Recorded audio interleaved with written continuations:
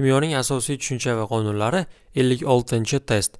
X2O5 tarkibli noma'lum elementning massa ulushi 2 taqsim 3 ga teng bo'lsa, demak mana bu elementning massa ulushi 2 taqsim 3 ga teng ekan.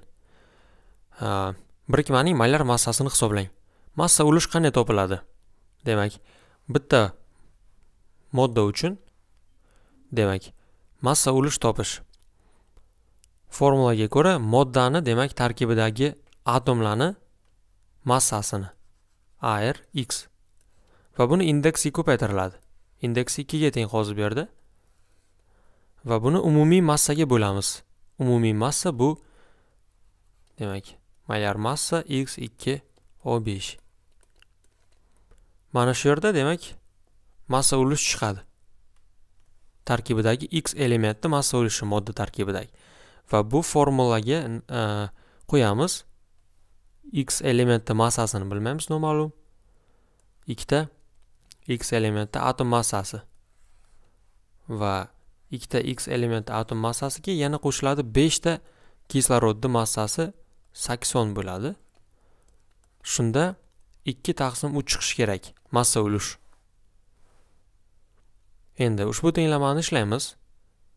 Mahrajini suratga suratini mahraji ko'paytirib bir biriga tenglashtiramiz.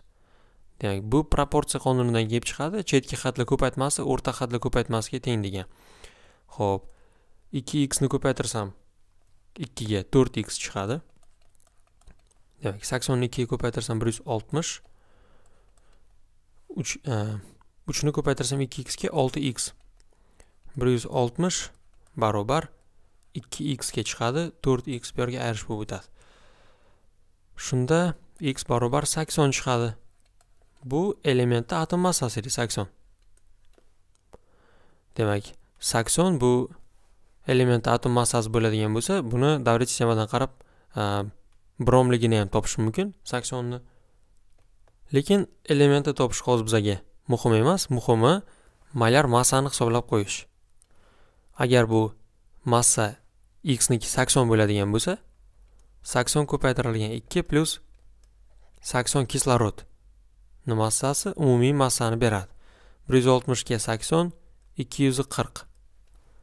Demak umumiy massa ikki yuz qirqga teng bo'lishi kerak. A javob bo'ladi.